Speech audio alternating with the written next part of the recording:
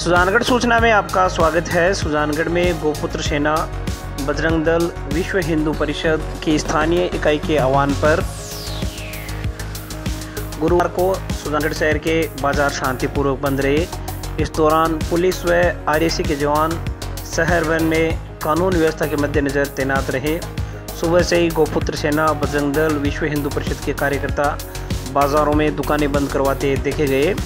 उपखंड कार्यालय पर सभी दलों के कार्यकर्ताओं ने प्रदर्शन किया और प्रशासन को चेताया कि अगर शीघ्र ही आरोपियों को गिरफ़्तार नहीं किया गया तो आंदोलन को और तेज किया जाएगा। इसके बाद उपखंड कार्यालय में ज्ञापन सौंपकर आरोपियों की शीघ्र गिरफ्तारी करने की मांग की गई। आपको बता दें कि यह पूरा मामला सांवरात गाँव से जुड़ा हुआ है, जहाँ पर कथित रूप से एक गोवंश की हत्या कर दी गई थी, जिसके बाद पूरा ये जनाक्रोश खड़ा हुआ है। हालाँकि बंद के दौरान सभी आवश्यक सेवाएँ खुली रही और दोपहर बाद आम दुकानें भी धीरे धीरे खुलना शुरू हो गई। आप भी देखिए क्या क्या हुआ इस दौरान और बने रहिए ताज़ा खबरों से अपडेट रहने के लिए सुजानगढ़ सूचना के साथ। सावरात में जो प्रकरण हुआ था तेईस तारीख को। उसके अंतर्गत उसके उसके अंतर्गत गोवंश की हत्या कर दी गई थी। गोवंश को काट कर जगह जगह उसको गिरा दिया गया था। उसके संबंध में हमने उनतीस चार को यहाँ पे ज्ञापन दिया था एसडीएम साहब को। लेकिन उसके विरुद्ध भी कोई कार्रवाई नहीं हुई अभी तक। कोई भी अपराधियों को पकड़ा नहीं गया है। उसके विरुद्ध में आज सुजानगढ़ पूर्णतः बंद रहा है।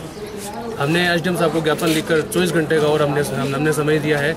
उसके अंतर्गत अगर कोई कार्रवाई नहीं होती है तो ये आग जो, ये आंदोलन की आग है पूरे अपने राजस्थान में चलेगी। और जो भी संगठन है, सब उसमें साथ रहेंगे। गोपुत्र सेना, बजरंग दल, विश्व परिषद और पूरा हिंदू समाज साथ में था। व्यापार मंडल पूरा साथ में, सब्ज़ी मंडी एसोसिएशन भी साथ में थी। और सब लोगों का एक ही विचार है कि किसी प्रकार से ये जो सद्भावना का क्षेत्र है, सुधरा क्षेत्र, इस क्षेत्र के ऊपर सांप्रदायिक क्षेत्र ना बनाया जाए। और जो इसमें कमी हो रही है, कमी सबसे बड़ी प्रशासन की है। प्रशासन बहुत ढीला बैठा है, अपराधियों उनके सामने अपराधी है, उनको पकड़ने में वो लोग देरी कर रहे हैं, इससे आक्रोश जन आक्रोश बढ़ता जा रहा है और पूरा हिंदू समाज और पूरा क्षेत्र आक्रोशित है।